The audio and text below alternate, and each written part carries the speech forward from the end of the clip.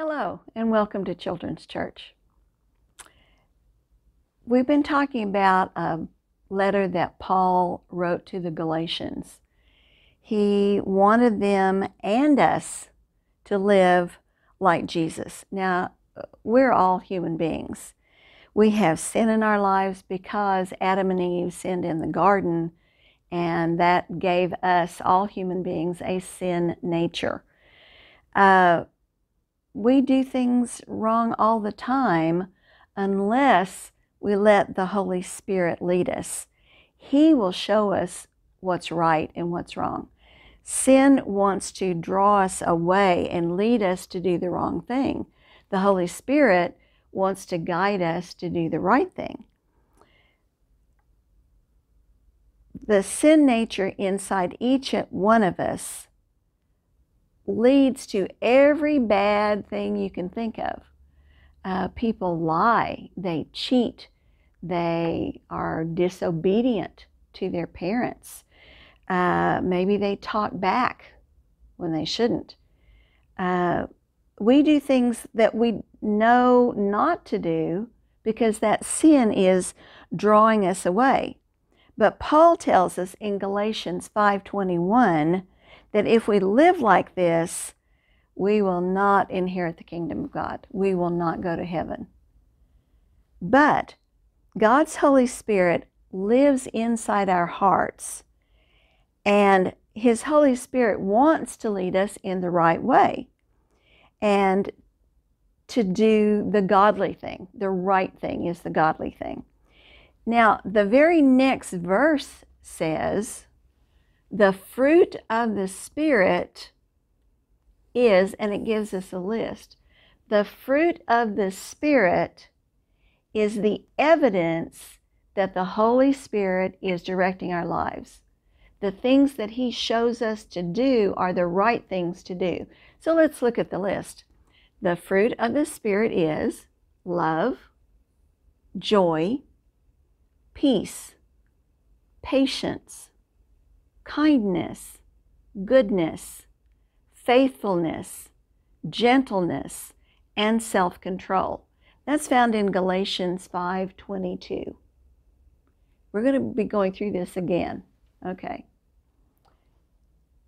These things are evidence. That means when people look at us, do they see love? Do they see joy in our lives? Do they see patience? Do they see all of these things? When they do, that's evidence that those things are living inside us, that the Holy Spirit is there to help us to guide and do those things.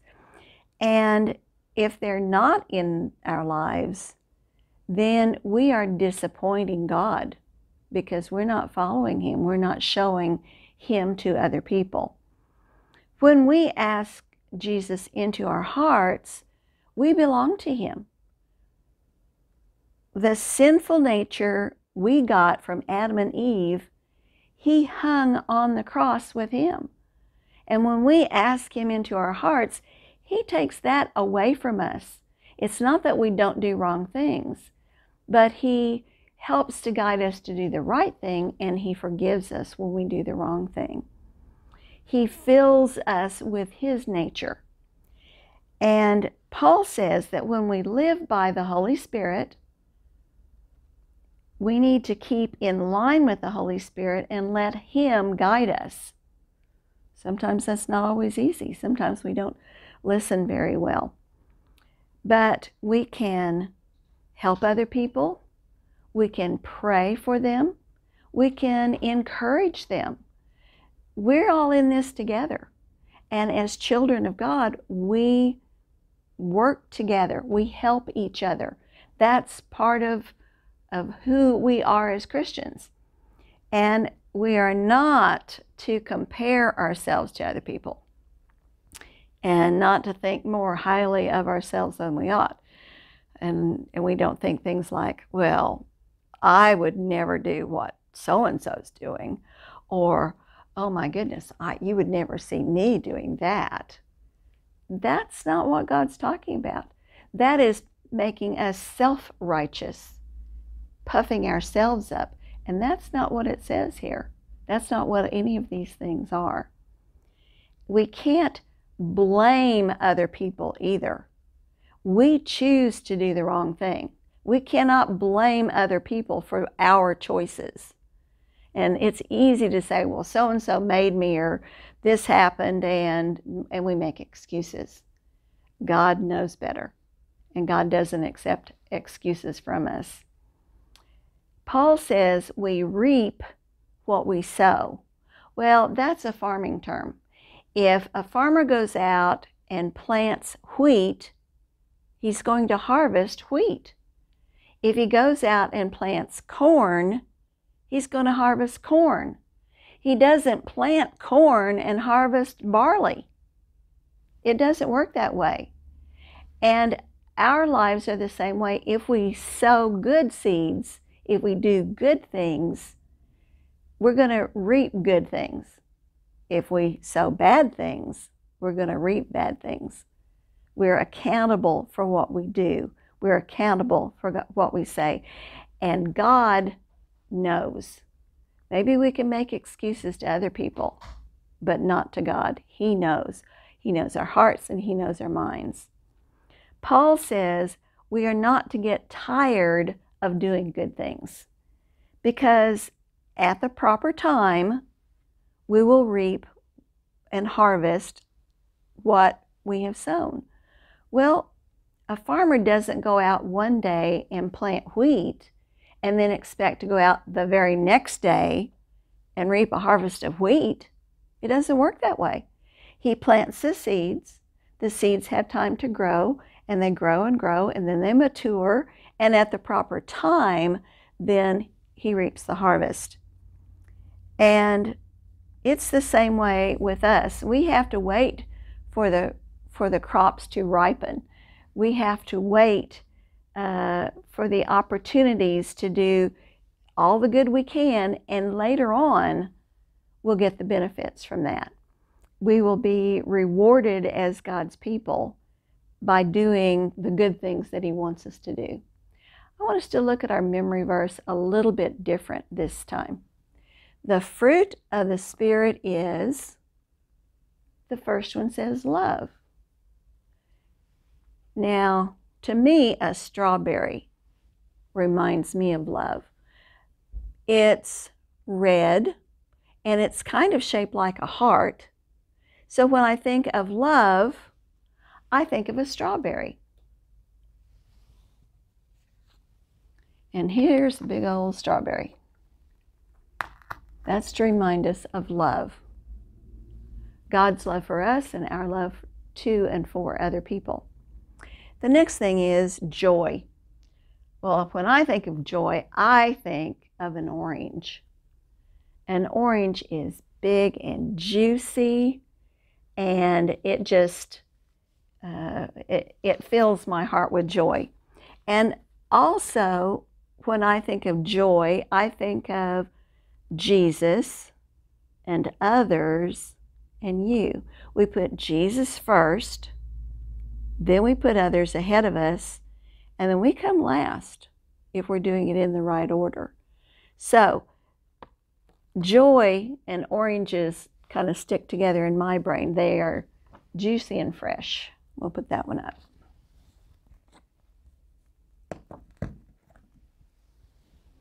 The next thing is peace.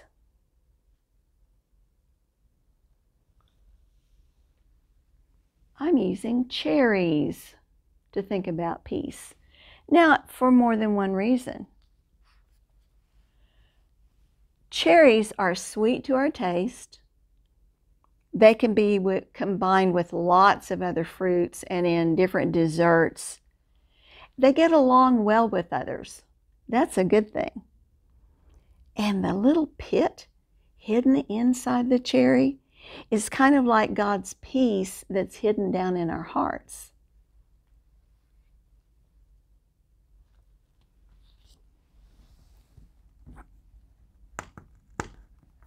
So when I think of cherries, I think of peace. Love, strawberry. Joy, orange. Cherries, peace.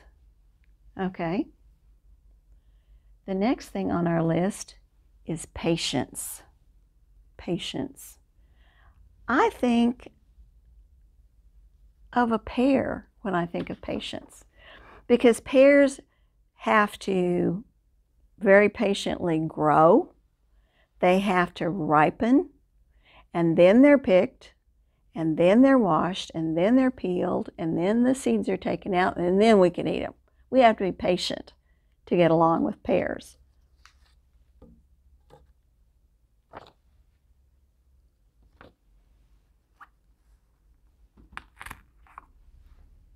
Okay. The next one is kindness. Well, I think of grapes when I think of kindness, and there's a reason for that. Now, some grapes are green and some are purple. Some of them are kind of red. But they come in a bunch and they're meant to be shared. Well, sharing is an act of kindness. So when I think of grapes, I think of kindness because we can share lots of things with people, not just grapes.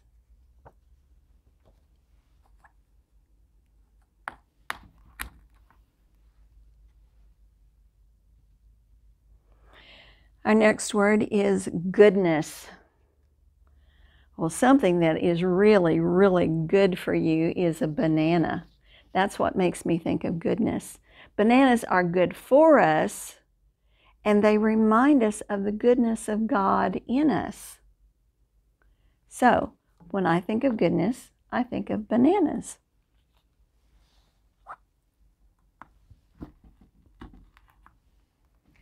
So we have strawberry for love, orange for joy, cherries for peace, pear for patience, grapes for kindness, banana for goodness. But we're not done. The next thing we have is faithfulness. When I think of a watermelon, oops, I hold it up like this, it reminds me of a rainbow. Not exactly like a rainbow, but it's kind of like a rainbow.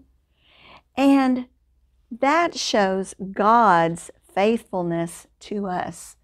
Remember that He put the rainbow in the sky?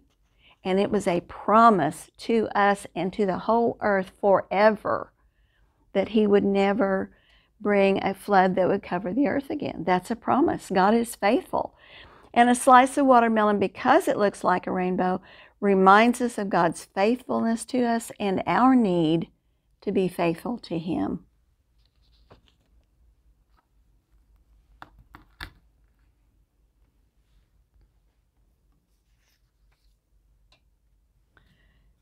The next thing is a peach. Now, peaches are very soft, and if you don't handle them carefully, they get little bad spots in them, they get bruised. And that reminds me of gentleness. We must be very gentle with peaches so we don't put spots in them. But we have to be gentle with people too.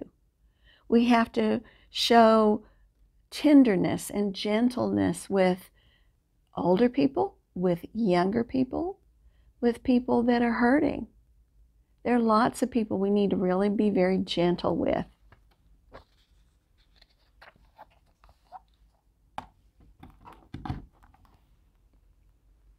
And that brings us to self control. Now, to me, a red apple is kind of like a stop sign saying, uh oh, watch out, stop.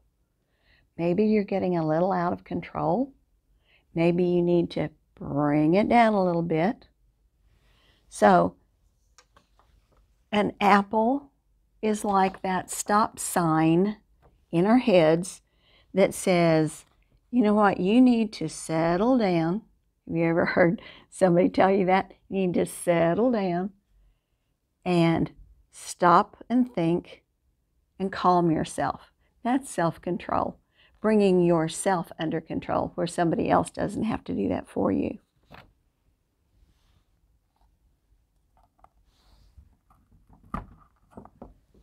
Okay, let's look at them one more time. Love is the strawberry.